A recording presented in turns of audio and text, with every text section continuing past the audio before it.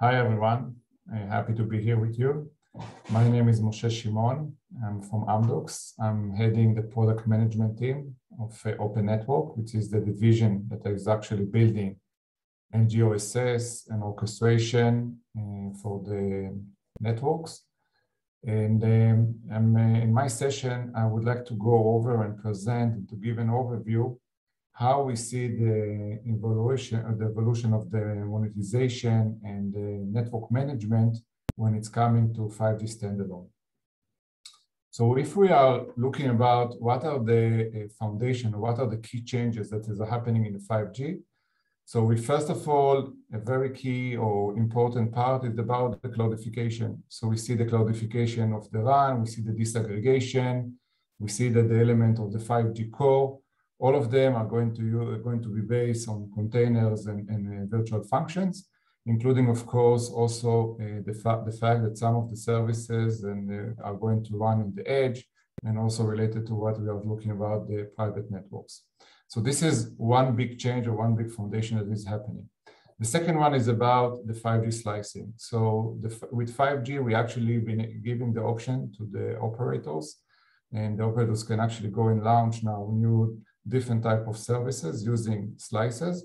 And the key part here is that those slices are not just about eh, the radio part and not just about the RAN. They're actually slices that are actually crossing different domains. So we'll talk about it later on. We'll see it between the RAN part, the transport part, the core. And it's also about the fact that I need to connect not just about the broadband and some shared slices, but also I want to be able to give for the business, for the B2B, also the option to go into really guarantee an end-to-end committed SLA uh, with different type of quality of experience. And this is something that is a little bit or changing compared to the situation today, which Many times those uh, uh, the connectivity is related to kind of best effort.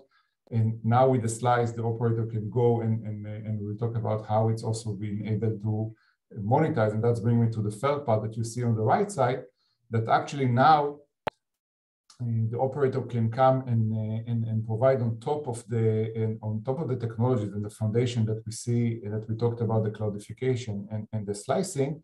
Now new type of packages, new type of, uh, for example, now to sell some part of the net, some assets of the network, to sell, for example, a different type of services that committing and give a, an end-to-end, for example, latency or a specific amount of availability, uh, and, and really create this kind of uh, different uh, packages. This is one part. Another part is about how fast they can come and introduce new services. And so the the aspect of the time to market become also a very critical part. So those three, those three, and, and of course there are more. Uh, we, will talk about other aspects, but these are uh, the one of the, the three key aspects that we see uh, that actually changed are going to change the 5G network. And again, it's not just about a new a new radio, and we're referring more to the to the aspect when it's coming to the 5G standalone, which is changing the radio, changing the core, and also changing the transport and how an end-to-end solution uh, can run on top of it uh, with a different criteria. So the, the, the next uh, question is about how it's actually uh, going to change the management. So we can talk about, we spoke about a little bit about what is happening to the network itself, about the, the cloudification, about the fact that I need to have a, a new 5G core, and there is also change in the, in the backhaul. Uh, in, in this uh, presentation, I want more to focus about what is happening and what is going to be changed in the orchestration part and the network management, or what we call the end-to-end 5G management, and how it's related to the other stack, to the BSS stack, uh, to the billing, to the charging. So it's can, uh, we can actually go in also to uh, provide monetization solution on top of it. So first of all, the fact that, uh, as we mentioned, that more and more uh, elements of the network are going to be uh, containerized and, and, and virtualized, I need to run and to have an end-to-end -end orchestration, the NFV orchestration, that actually going to run and to manage the lifecycle management of those elements. The second part, it has to be model-driven because I will need to be able to come, and as we mentioned, the fact that it has to be very uh, the time to market is very critical and I want to uh, and I want to have one area, one place that are actually doing an end-to-end design of those uh, new services. the real-time inventory, uh, because if it if till now, if we're looking about the current uh, mobile network, the inventory was more an offline tool for the IT. Here we're talking about a real-time inventory that all the time need to be synchronized because the amount of changes that is happening in the network. So the inventory or the real-time part of it become also a very critical part and need to be and it has to have this kind of transformation compared to the situation today. And the last important part is about the assurance uh, and closed loop. So people can argue, yes, assurance and so on. That was this is something we are we having for the last 20 years. That's correct, but we didn't have this kind of closed loop. Meaning, I want to be able to get this kind of telemetry and monitoring from the network and, and also from the subscriber. We'll talk about in the way that we're doing it in the standard way, with, for example, with NWDAF.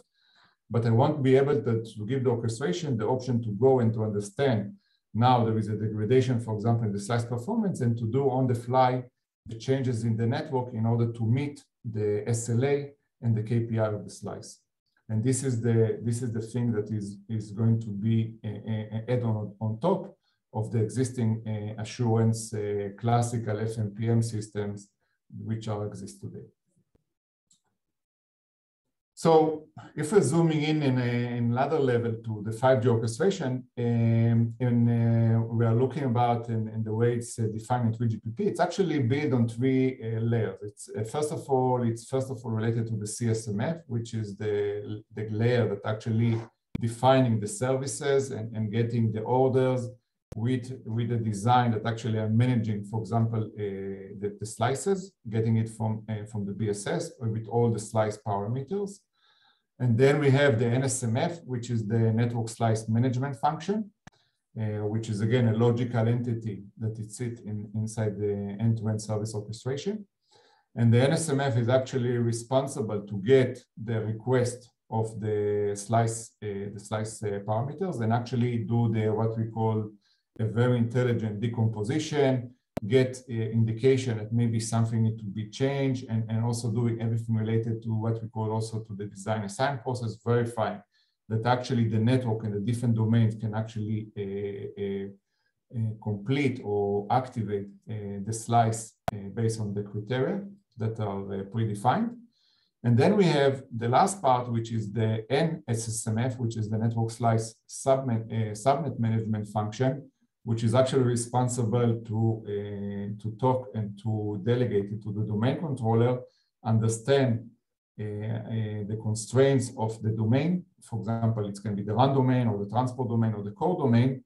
And based on that, uh, uh, update and configure and, and, and, and, set the configuration parameters to the domain controller so it can adjust and actually complete the instantiation of the slice.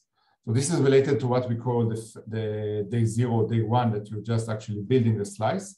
Of course, later there is also the uh, all of those three layers that I uh, described also need to handle the full life cycle of the slice. So if I need now to scale it, if I need now, I want to monitor it and understand if I need to change parameters of the slice, or maybe I need to shift, or maybe I need to open out a process that is actually adding more resources to the slice. And maybe it's I need for those to in order to increase the bandwidth of the slice or, or reduce the delay of the slice. I need now to change also uh, actually physically uh, uh, items in the network. So this is the kind of logic that the NSMF uh, will take and will handle. So th that was related to the what we are doing actually uh, with the slice. Uh, but even if we're zooming before we actually uh, instantiating and managing the life cycle of the slice, we also need to, first of all, to go and to build the function. And the function can be, for example, the radio uh, uh, or the UPF, for example, the user plane function, or other aspect that we have in the core. And, and here we are talking about that uh, the orchestration in the 5G, we're talking about the 5G standalone, need to have this kind of intelligence to take decision where to place the function because it's not static as it was in the 4G networks, meaning that I need now to go and really understand if something is changed in the, maybe in the underlay, maybe I don't have enough bandwidth in the transport or there is any degradation of the radio performance, or maybe I need now to move the slice, uh, to move, sorry, the function the user plane function or the application itself to another location. And all of those, these are decisions that uh, the orchestration takes. So it's intent-based orchestration, and, and, and it's actually implementing what we call homing and placement. So based on the criteria, uh, as for example, the latency or criteria of the jitter or criteria of the what is the actual uh, performance, and, and maybe I need to understand where I need to, to use the hardware acceleration so the orchestration is actually working very close with the inventory system to really understand in each time where I have the resources and what is the status of the resource. And maybe in the, some area I'm, I'm running out of memory or I need to add uh, to have uh, to add more compute. Uh, and, and then take and, and then take uh, decisions when a request is coming, actually where to place the network function or where to place the application according to the real status of the network. So this is everything related, what we call to the homing placement or to the intelligent uh, uh, function placement. Uh, and this is again on top of on top of what the, we just spoke before, which is related to how I'm orchestrating and handling the end-to-end life cycle of the slice. And what we can see also here is that uh, we did this kind of integration uh, with Azure, uh, with Microsoft Azure. So Microsoft here they are providing uh, the edge location, the POPs, and the, with, uh, with their edge uh, services. Uh, we also instantiate and managing Affirmed uh, in the core with, uh, with OpenNet, which is the Amdocs charging and policy function. So we actually orchestrate all of those network function and we are managing the different loads, the different loads and the, and the application that need to run on the edge or or at the, or the core, again, according to the status and the situation uh, of the network itself.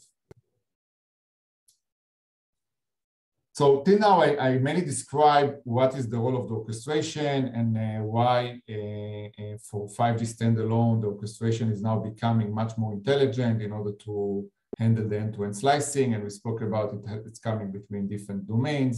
And I, I, mentioned also, we spoke about, about the edge and the homing and placement and the role of the orchestration there. The, the third part is about, okay, now how I can monetize it, meaning how can I give more indication to the uh, BSS layer, to the charging, and to the customer experience based on this information, based on the understanding, based on the, all the analytics that uh, both the network gives me and the orchestration that actually handle all the processes that we mentioned before, how can we go now use this information and give the operator uh, the option to come and, and to provide more uh, deeper granular uh, services, improve the, and, and, give, for example, new packages with a different type of quality of experience. Come and say maybe to charge based on the performance, maybe to have kind of, uh, when we're talking about over-the-top application, give them different type of uh, different type of resources based on the based on actual usage and and uh, charge and build this kind of different pricing packages accordingly. So all of that is is a set of uh, capabilities that uh, we build together uh, here in Amdocs together with with our charging and and policy and uh, with uh, giving the indication that we are getting from directly from the network and from the NWDAF, which is ma managing or giving the indication of uh, of the subscriber uh, of the subscriber status and and the and the analytic that we are gathering uh, from the subscribers. Based on that, we are indicating and building this kind of monetization packages that again then uh, can, can the, operator can go and build uh, the, as we mentioned, the different uh, different uh, packages that give them the option to monetize.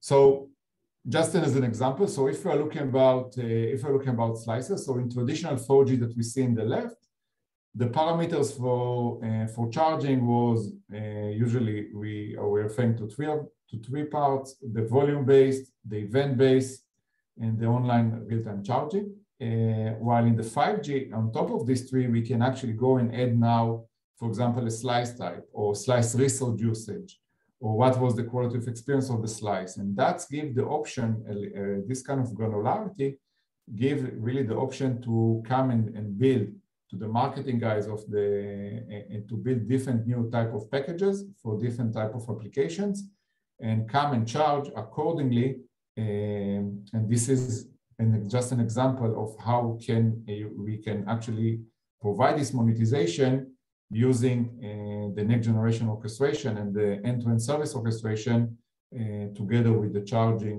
and the policy and the NWDAF uh, uh, components. So how things are, how everything is connected together. So what we see here, we see uh, we see in the network in the core the policy, and we see the charging function. And we see the end-to-end -end network slicing orchestration, which is including the CSMF and the NSMF function. So based on all the indication and all the processing that actually managing the life cycle of the slice, we are creating what we call a charge and trigger function. So the slice, the slice manager is actually updating uh, the charging function, uh, what was actually the, the status of, of the slices, what was the usage, what was the level of quality of experience uh, based on the different, uh, according to the different time that uh, the slice was, uh, was up and, and so on. And, and then we can, as we mentioned, actually close it, close the loop with the billing part. so we're creating an end-to-end -end solution that give the option for the monetization. So this is just describing in order to close, you see all the ingredients uh, when we're talking about uh, how we actually monetize and which components uh, we need to use in order to run this kind of monetization. So I mentioned the monetization, we spoke about the slicing, and, and the next part is about talking about what how we're doing the closed loop. So what has happened today? Today in the network, usually I have this kind, it's more what we call top-down. So I'm getting a request for a doing fulfillment process, and then you know the orchestration, the OSS system and the orchestration is actually going and updating the network and, and the inventory system uh, are updating the resources and the services that actually we, we complete the, this kind of fulfillment process. And, and in parallel, there is assurance system that actually collecting the fault uh, management and the performance management of the network. And if there is any degradation or it's crossing a threshold, it's open a tickets. And of course, today also those FMPM system are running and, and also adding machine learning so it can be more efficient way uh, and actually defining those kind of uh, thresholds. Um, but when we're talking about 5G, we talk about the fact that uh, things, everything is, we said it all, many, many parts are much more uh, are, are cloudified and uh, containerized and, and, virtualized. And we said that uh, I'm now using edge and I need now the orchestration is placing the function in different location and the services. So this kind of, of uh, the dynamic nature of the network create a power that I cannot do kind of static just top down. I need to be to be able the orchestration and, and the and the end-to-end -end service orchestration, which is also managing the slicing, need to be able to collect those events, analyze it with a very strong analytic and machine learning engine, also getting the feed from the classical FMPM and the trouble ticketing system, the trouble ticketing system, and actually perform what we call loop, meaning I need now to change, not because someone asked me the BSS or there is a new request that is coming top down, but actually because different events and I understand maybe there is now a degradation in the size performance, and now I need to divert some of the traffic or I need to change something uh, with the radio.